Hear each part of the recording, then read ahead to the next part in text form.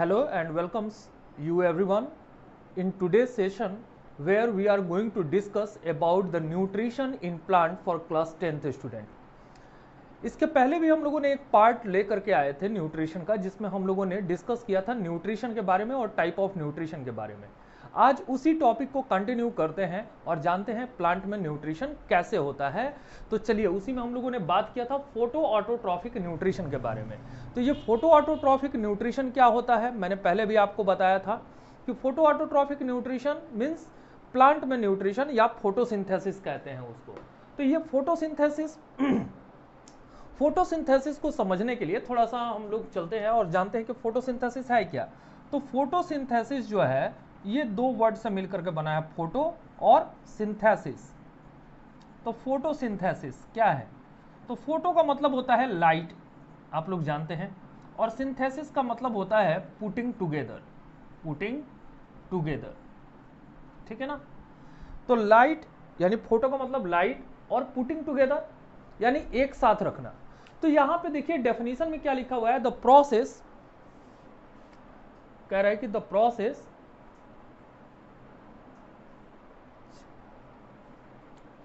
चलो हम लोग बात कर रहे थे कि आखिर फोटोसिंथेसिस है क्या? तो क्या बोल रहा है? The process in which the green plants prepare their own food in presence of sunlight and chlorophyll with the help of carbon dioxide and water is called photosynthesis. तो जैसे यहाँ पे डेफिनेशन में हमने कहा कि फ़ोटो का मतलब होता है लाइट तो लाइट एनर्जी को लेकर के प्लांट अपने साथ अगर कार्बन डाई और वाटर से फ़ूड प्रिपेयर करते हैं, ठीक है ना? कहाँ पे? क्लोरोफिल के थ्रू यानी क्लोरोप्लास्ट में तो उस प्रोसेस को कहते हैं फोटोसिंथेसिस ठीक है? देखिए, ये फोटोसिंथेसिस या प्लांट के लिए फ़ूड प्रिपेयर करना अपने आप में बड़ा ही एक अजीब कारनामा है, जो दुनिया में या इस पूरे ब्रह्मांड में एक लौता ऐसा प्रोसेस है, जिसमें एक लिविंग ऑर्गेनिज्म फ़िज़िकल प्रोसेस में लाइट एनर्जी को लेकर के अपने लिए फ़ूड प्रिपेयर करता है, ठीक है ना? अब इसको जोड़ने के लिए मैंने यहाँ पे फ़िज़िकल बायोलॉजिकल और केमिकल तीनों तरीके के प्रोसेसेस इन्वॉल्व होते हैं फोटोसिंथेसिस में। इसीलिए फोटोसिंथेसिस को हम लोग एक और नाम से जानते हैं, इसको कहते हैं फिजिको बायोकेमिकल प्रोसेस। फिजिको यानी फ़िज़िकल प्रोसेस है, जिसमें ये लाइट एनर्जी को एब्जॉर्ब करते हैं। बायोलॉजिकल प्रोसेस कैसे है? क्योंकि इसमें लिविंग ऑर्गेनिज्म इन्वॉल्व है। और केमिकल प्रोसेस क्या है भाई? ये केमिकल कंपाउंड प्रोड्यूस करते हैं अपने शरीर के अंदर में। एनर्जी के लिए एटीपी का फॉर्मेशन करना या फ़ूड के रूप में स्टार्च का बनाना तो ये सारे जो प्रोसेसेस हैं वो केमिकल प्रोसेस हैं। तो इसीलिए इसको क्या कहते हैं? फिजिको बायोकेमिकल प्रोसेस कहते हैं। It is also known as the physical biochemical process चलिए, इसके अंदर चलते हैं और जानते हैं इसके और दूसरे जो प्रोसेसेस हैं या जो इसके स्टेप्स हैं फोटोसिंथेसिस के, उनमें क्या क्या चीज़ें इन्वॉल्व हैं, उन सब के बारे में डिटेल से जानने की कोशिश करते हैं। यहाँ पे मैंने बोर्ड पे लिखा हुआ है, आप अपना कॉपी पेन ले करके बैठिए और हर एक डेफिनेशन को, हर एक पॉइंट को अच्छी तरीके से नोट करते रहिए, या आपके बड़े काम आने वाले हैं। ठीक है? चलिए तो सबसे पहला जो टॉपिक है हमारा वो है साइट ऑफ़ फोटोसिंथेसिस यानी फोटोसिंथेसिस होता कहाँ है? तो फोटोसिंथेसिस कहाँ होता है भाई? Photosynthesis takes place in the green leaf of the plants plant की ग्रीन लीव्स में होती है। अब लीफ का कलर ग्रीन क्यों होता है? ये आप सभी जानते हैं, ये तो बड़ा लोअर क्वेश्चन है, बड़े लोअर क्लासेस का है। तो लीफ का कलर ग्रीन क्यों होता है? क्योंकि उनके पास में क्लोरोफिल पाए जाते हैं। और क्लोरोफिल कहाँ मौजूद होते हैं? क्लोरोफिल मौजूद होते हैं क्लोरोप्लास्ट के अंदर। यानी क्लोरोप्लास्ट को हम लोग क्या कहते हैं दूसरे शब्दों में? क्लास नाइन्थ में भी हम लोगों ने डिस्कस किया था। Chloroplast is consider as the kitchen house of the cell kitchen house why it is considered as the kitchen house of the cell because the photosynthesis is takes place in the chloroplast chloroplast के अंदर में photosynthesis होता है so why it is known as the kitchen house of the cell so let's see the structure of the chloroplast. The photosynthesis, site of the photosynthesis is the chloroplast. Chloroplast is the site of photosynthesis it is also considered as the kitchen house of the cell it is kitchen house of the cell it is kitchen house of the cell photosynthesis takes place in chloroplast let's see the structure of this chloroplast chloroplast की अगर structure को देखने की बात करें तो आप देख सकते हो कि क्लोरोप्लास्ट का स्ट्रक्चर कैसा है थोड़ा सा मैं इसको जूम कर देता हूँ ताकि आपको देखने में ज़्यादा दिक्कत ना हो समझ में भी आए चलिए, थोड़ा सा मैंने जूम कर दिया है। अब आप देखो, ये क्लोरोप्लास्ट का स्ट्रक्चर है, अपने बुक में भी देख सकते हो। इसको बना करके आप लोग प्रैक्टिस करना। देखो क्लोरोप्लास्ट कैसा होता है? ओवल शेप्ड होता है। ठीक है ना? It is a double membrane bound structure it is a double membrane bound structure देख रहे हैं ना? दो मेम्ब्रेन दिखाई दे रही है। Outer membrane and inner membrane it is a double membrane bound structure. Internally, the chloroplast is divided into two parts. It is divided into two parts. The first part is the grana the first part is grana and second part is stroma. Grana and stroma, these are the two part of the chloroplast. Grana and stroma. Chloroplast has a proteinaceous matrix जो इसके अंदर जो material भरा होता है, जैसे cell के अंदर क्लोरो साइटोप्लाज्म होता है, वैसे क्लोरोप्लास्ट के अंदर जो लिक्विड मटेरियल भरा होता है, उसे हम लोग कहते हैं मैट्रिक्स और वो मैट्रिक्स का नेचर कैसा होता है? मैट्रिक्स का नेचर होता है प्रोटीनेसियस। प्रोटीनेसियस मैट्रिक्स होता है इसका। तो प्रोटीन, यानी प्रोटीनस नेचर का होता है, इसको हम लोग कहते हैं proteinaceous chloro matrix. Okay? It is divided in two part जैसे मैंने बताया। The first part is the grana पहला पार्ट इसका क्या है? ग्रेना है and second part is stroma grana अब आप देख रहे हो, ये जितने भी आपको स्ट्रक्चर दिखाई दे रहे हैं, ये सिक्कों की ढेर की तरह जो स्ट्रक्चर आपको दिखाई दे रहे हैं, ये सब, ये सारे स्ट्रक्चर ग्रेना बनाते हैं, ये सभी मिल करके क्या बनाते हैं? ग्रेना बनाते हैं। ईच ग्रेना, अगर एक एक ग्रेना की बात करें, अगर एक एक ग्रेनम की बात करेंगे, अगर सिंगुलर फॉर्म में तो each granum is compose of the many thin flat and sac like structure ये बहुत सारे थीन फ्लैट एंड सैक की तरह सैक यानी बैग की तरह स्ट्रक्चर से मिल करके बने होते हैं। Thin flat and sac like structure से मिल करके बने होते हैं। यहाँ पे मैंने लिखा भी है। Light phase contain the many thin flat and sac like structure known as thylakoids इनको हम लोग क्या कहते हैं? इनको कहते हैं थाइलेक्वाइड्स थाइलेक्वाइड्स कहते हैं। ये हर एक स्ट्रक्चर में जितने इसके सब पार्ट्स दिखाई दे रहे हैं, वो सब पार्ट्स क्या है? दीज आर द थाइलेक्वाइड्स अब इन थाइलेक्वाइड का जो अरेंजमेंट होता है वो कैसा होता है? एक के ऊपर में एक होते हैं, यानी एक एक के ऊपर में एक इस तरीके से लगे रहते हैं।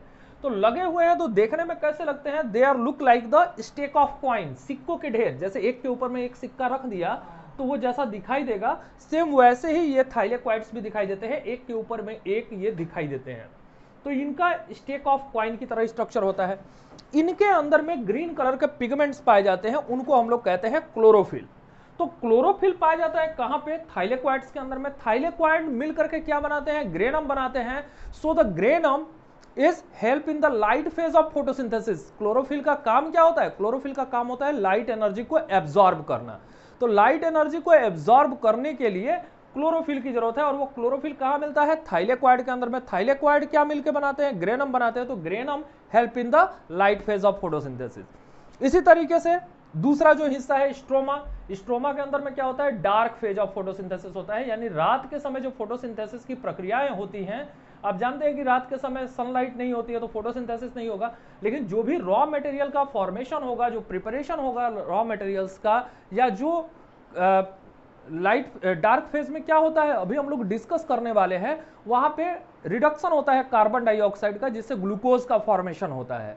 तो उसको हम लोग डिस्कस करेंगे। तो वो सारी जो प्रोसेसेस है, वो कहाँ होते हैं? वो होते हैं स्ट्रोमा के अंदर में।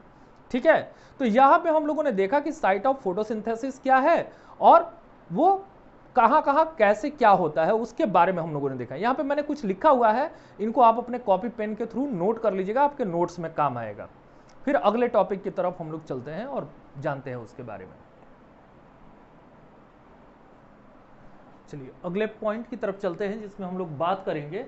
फोटोसिंथेटिक पिगमेंट्स के बारे में then now we are going to discuss about the photosynthetic pigment we have already know about the photosynthesis and what is the site of the photosynthesis we have already discussed about that now move to the next point is the photosynthetic pigment and what is the photosynthetic pigment the pigment which involve in the photosynthesis is known as the photosynthetic pigment it means uh, those help in the uh, absorption of the visible light energy from the solar radiation, then it is known as the photosynthetic pigment. Photosynthetic pigment क्या है?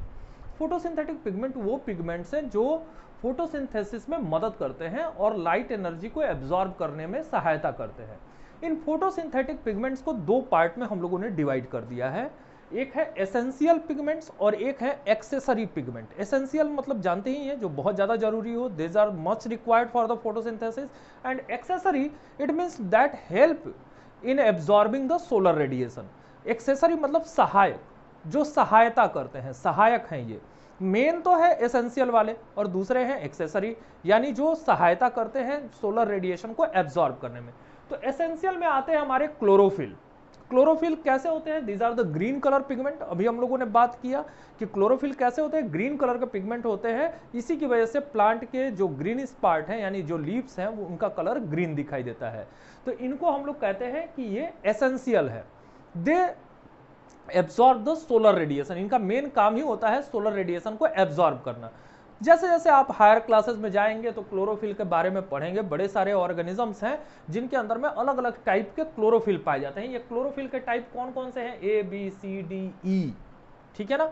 Bacterio chlorophyll जो bacteria के अंदर में पाया जाता है और उसी से, उसी तरीके का एक दूसरा कंपाउंड होता है बैक्टीरियो विरिडीन तो ये सब एसेंशियल है। It means they are much required for the process of photosynthesis in absorbing the solar radiation secondary the second one is the accessory accessory मतलब जो फोटोसिंथेसिस में क्लोरोफिल की सहायता करते हैं, यानी सोलर रेडिएशन को एब्जॉर्ब करने में मदद करते हैं। These are known as the carotenoids ये कैरोटिनॉइड्स होते हैं।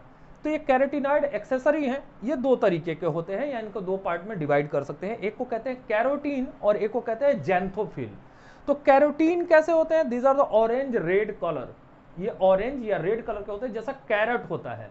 तो कैरेट से ही कैरोटीन बना है। They are isolated from the carrot इनको कहाँ से निकाला जाता है? अलग किया जाता है, इनको कैरेट से अलग किया जाता है। तो कैरेट का जो कलर होता है, उसके अंदर में क्या होता है? कैरोटीन होता है।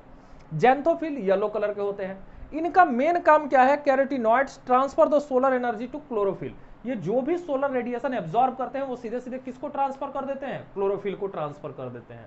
तो ये फोटोसिंथेटिक पिगमेंट है। तो फोटोसिंथेटिक पिगमेंट के बारे में जाना है कि वो पिगमेंट जो फोटोसिंथेसिस में सोलर रेडिएशन को एब्जॉर्ब करने में मदद करते हैं, उनको हम लोग कहते हैं photosynthetic pigment essential and accessory essential में हमारे क्लोरोफिल होते हैं और एक्सेसरी में हमारे कौन होते हैं? कैरोटिनाइड्स होते हैं।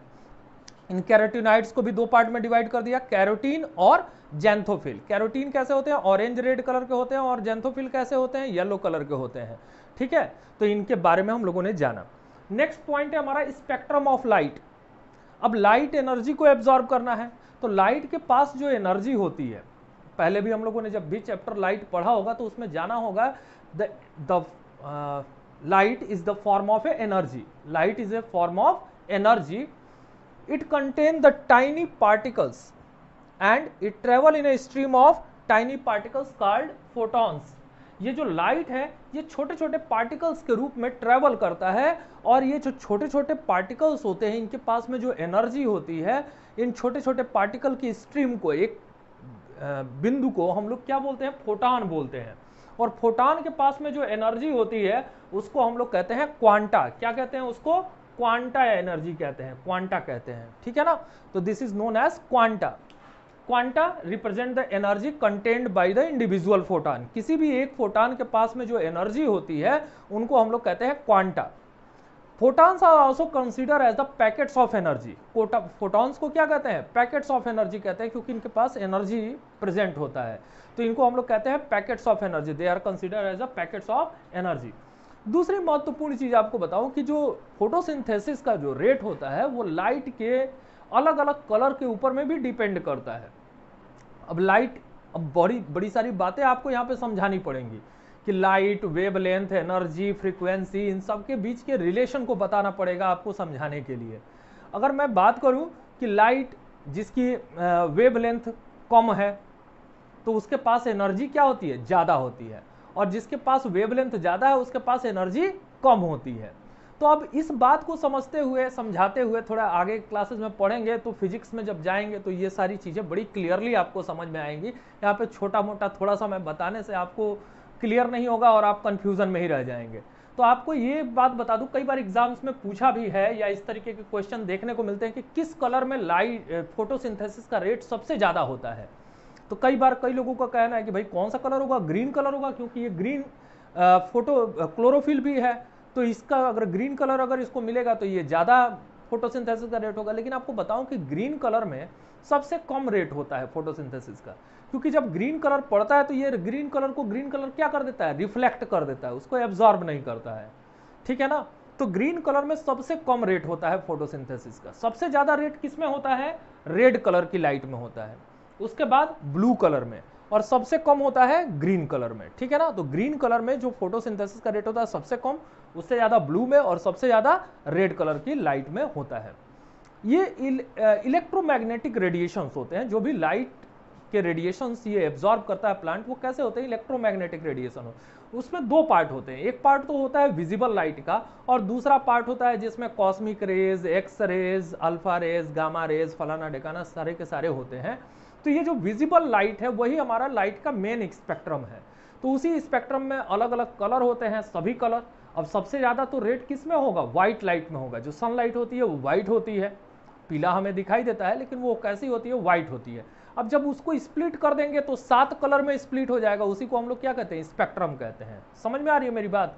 तो ये स्पेक्ट्रम ऑफ़ लाइट इसको नोट कर लीजिएगा आप लोग। थोड़ा जूम करके या देख करके इसको अच्छी तरीके से, जैसे भी आपको समझ में आए। इसको नोट कर लीजिएगा। आई थिंक आपको समझ में आ रहा होगा, बोर्ड पे लिखा हुआ। जो नहीं समझ में आ रहा होगा, मेरे से पूछ लेंगे। चलिए, अगले टॉपिक की तरफ़ चलते हैं और जानते हैं।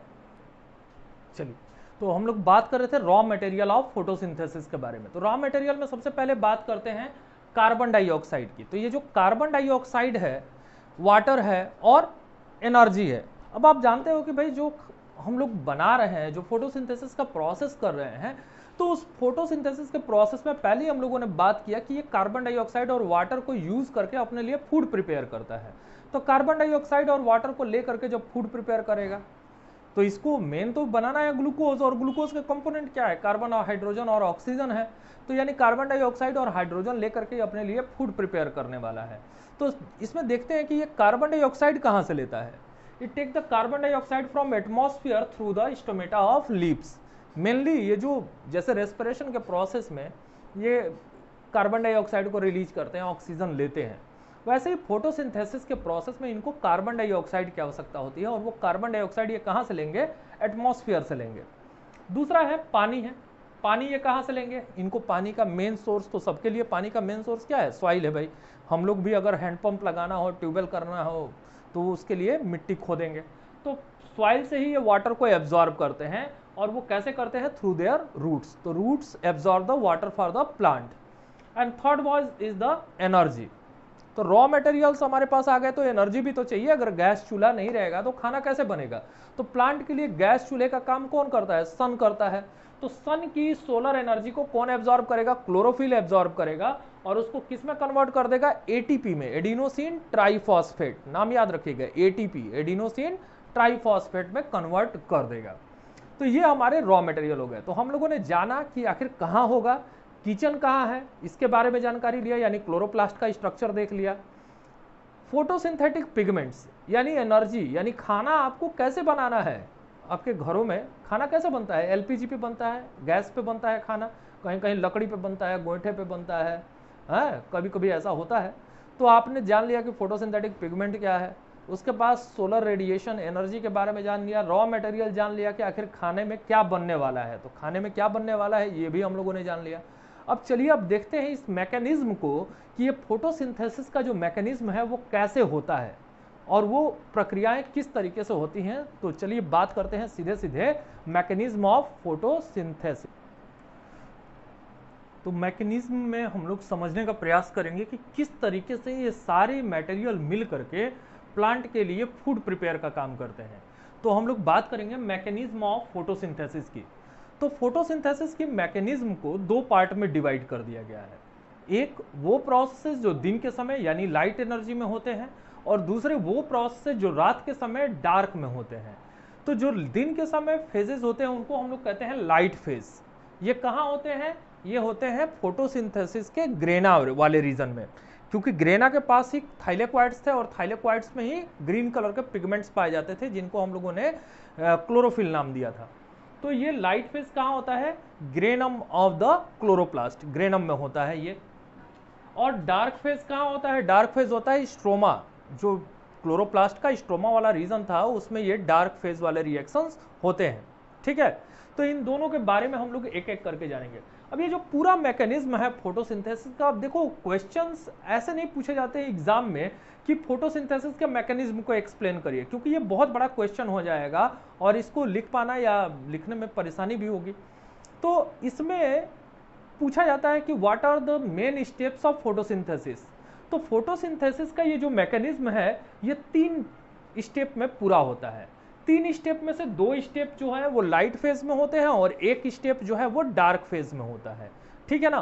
वो तीन स्टेप कौन कौन से हैं? उनको आप समझो। पहला स्टेप है एब्जॉर्प्शन ऑफ़ सोलर एनर्जी ठीक है ना? पहला स्टेप क्या है? सोलर एनर्जी का एब्जॉर्ब करना। यानी सोलर एनर्जी कैसे एब्जॉर्ब होगी?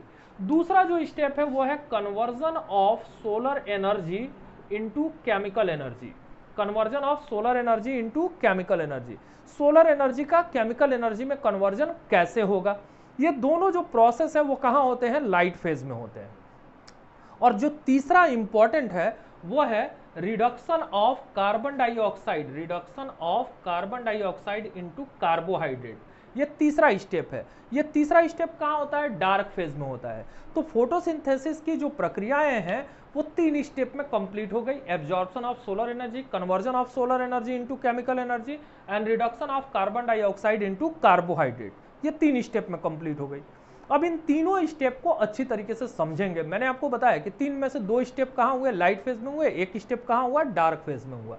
अब इसको हम लोग समझेंगे कि आखिर इसमें होता क्या है। इन प्रोसेसेस में चीज़ें किस तरीके से चेंज होती हैं और प्लांट अपने लिए फ़ूड कैसे बना पाता है। तो सबसे पहले हम लोग देखा एब्जॉर्प्शन ऑफ़ सोलर एनर्जी यानी सोलर एनर्जी को एब्जॉर्ब कौन करेगा? क्लोरोफिल करेगा। क्लोरोफिल कहाँ पाए जाते हैं? क्लोरोप्लास्ट में पाए जाते हैं। क्लोरोप्लास्ट कहाँ है? ग्रीन लीव्स में है। तो लीव्स के अंदर में जो क्लोरोप्लास्ट है, उसके अंदर मौजूद क्लोरोफिल सोलर एनर्जी को एब्जॉर्ब करने का काम करता है। अब ये जो सोलर एनर्जी है, पहले भी, इसके पहले भी हम लोगों ने बात किया कि सोलर एनर्जी को हम लोग क्या कहते हैं? एक एनर्जी का फॉर्म है और वो एनर्जी किस रूप में होती है? फोटॉन्स के रूप में होती है। The stream of light the tiny particle of stream of light is known as photon and photons are known as the packets of energy. Photons को हम लोग क्या कहते हैं? Packets of energy कहते हैं।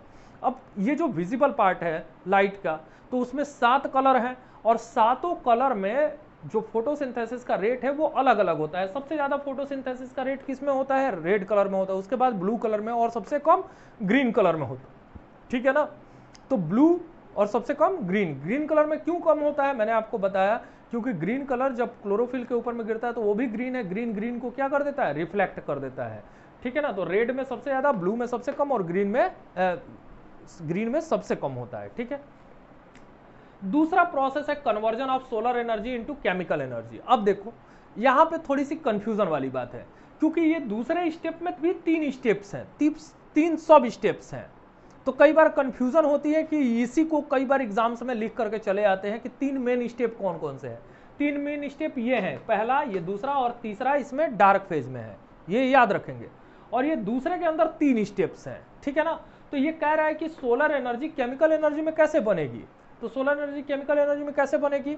तो उसमें पहला स्टेप है हमारा फॉर्मेशन ऑफ़ एटीपी जानते हैं एटीपी का full form adenosine triphosphate adenosine triphosphate तो एडिनोसिन ट्राइफॉस्फेट का फॉर्मेशन कैसे होगा? कह रहे कि एडिनोसिन डाइफॉस्फेट एडीपी एडीपी में जब इनऑर्गेनिक फॉस्फेट मिलेगा, एक और फॉस्फेट जुड़ जाएगा तो डाई का मतलब क्या होता है? दो। ट्राई का मतलब क्या होता है? तीन। तो डाई में एक और फॉस्फेट अगर जुड़ गया तो क्या बन गया? ट्राइफॉस्फेट बन गया। तो एडिनोसिन ट्राइफॉस्फेट बना। दूसरा स्टेप है हमारा फोटोलिसिस ऑफ़ वाटर कह रहे वाटर का टूटना। कह the splitting of water molecule in presence of sunlight. कह रहा है कि अगर लाइट एनर्जी से अगर वाटर मॉलिक्यूल को तोड़ा जाए तो उसको हम लोग कहते हैं फोटोलिसिस ऑफ़ वाटर। तो ये फोटोलिसिस ऑफ़ वाटर में क्या है? वाटर मॉलिक्यूल है, वो हाइड्रोजन और ऑक्सीजन में स्प्लिट कर जाता है। आप जानते हो कि फोटोसिंथेसिस के प्रोसेस में प्लांट क्या रिलीज़ करते हैं? बाई प्रोडक्ट के रूप में या बाई प्रोडक्ट के रूप में क्या निकलता है? का ऑक्सीजन गैस निकलती है। तो फोटोसिंथेसिस के प्रोसेस में प्लांट क्या रिलीज़ करते हैं? ऑक्सीजन गैस रिलीज़ करते हैं। ठीक है ना?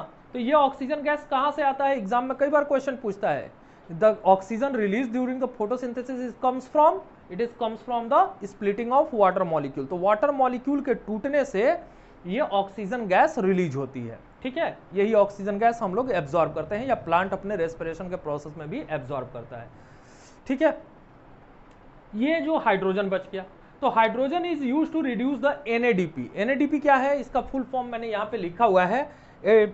एन का फुल फॉर्म होता है nicotinamide adenine dinucleotide phosphate N A D P N A D P तो एनएडीपी यानी निकोटिनेमाइड एडेनिन डाइन्यूक्लियोटाइड फॉस्फेट इसका फॉर्म होता है। और इसमें जब हाइड्रोजन जुड़ जाएगा तो एनएडीपी एक एनर्जी कंपाउंड के रूप में यूज़ होने लगेगा, हाइड्रोजन के जुड़ते ही।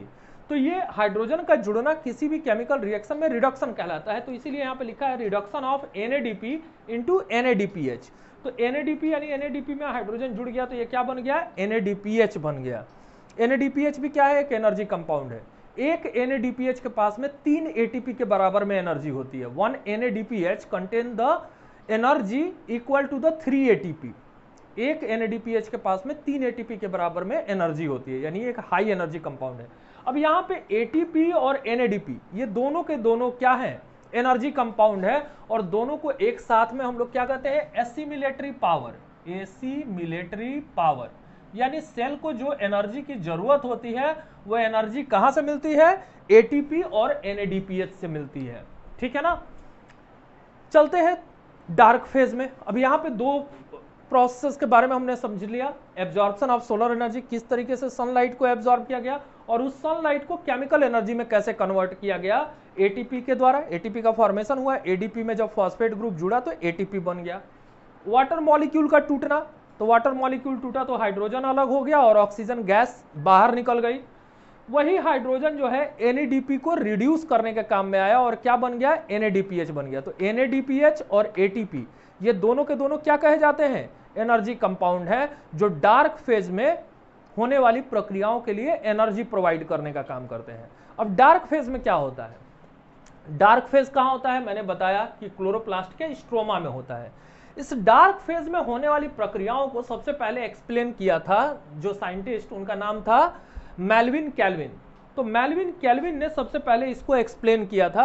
इसीलिए इस पूरे फ़ेज़ को एक और नाम से जानते हैं, उसको कहते हैं कैलविन साइकिल क्या कहते हैं उसको? कैलविन साइकिल कहते हैं। जब हायर क्लासेस में पढ़ेंगे तो बायोलॉजी में कैलविन साइकिल के बारे में भी अलग से जानेंगे। इसके लिए इनको नोबेल प्राइज मिला था। बहुत इंपॉर्टेंट नहीं है, लेकिन जानना चाहिए, कुछ हिस्ट्री भी जानना चाहिए। तो मेलविन कैलविन ने इस फ़ेज़ को एक्सप्लेन किया था, इसीलिए कैलविन साइकिल कहते हैं, और उसके लिए उनको नोबेल प्राइज मिला था 1961 में। इस फ़ेज़ में क्या होता है? यहाँ पे क्या होता है? Reduction of carbon dioxide into carbohydrate यहाँ पे कार्बन डाइऑक्साइड को रिड्यूस करके क्या बनाया जाता है? कार्बोहाइड्रेट बनाया जाता है। उस प्रोसेस में क्या होता है भाई? ये जो कार्बन डाइऑक्साइड है it is first trapped by the RUBP RUBP is an enzyme RUBP क्या है? एक एंजाइम है। तो ये आरयूबीपी सबसे पहले कार्बन डाइऑक्साइड को एब्जॉर्ब करता है, पकड़ता है अपने साथ। ये आरयूबीपी का कोई काम नहीं है। आप लोग ऐसे भी जानते हो कि एंजाइम का किसी भी केमिकल रिएक्शन में कोई काम है नहीं। वो यहाँ पे केवल इसलिए मौजूद है आरयूबीपी कि वो कार्बन डाइऑक्साइड को इस रिएक्शन में ले करके जा सके। आरयूबीपी का भी फुल फॉर्म होता है, इसका फुल फॉर्म होता है राइबुलोज बाइफॉस्फेट क्या नाम होता है? राइबुलोज बाइफॉस्फेट इसका फुल फॉर्म होता है। ठीक है? नोट कर लेंगे इसको। तो ये आरयूबीपी कार्बन डाइऑक्साइड को एब्जॉर्ब करता है। एटीपी और एनएडीपीएच से क्या मिल जाता है? एनर्जी मिलता है और उससे क्या बनता है? ग्लूकोज बनता है। आरयूबीपी का काम था केवल कार्बन डाइऑक्साइड को ले जाना। तो आरयूबीपी रीजनरेट हो जाता है।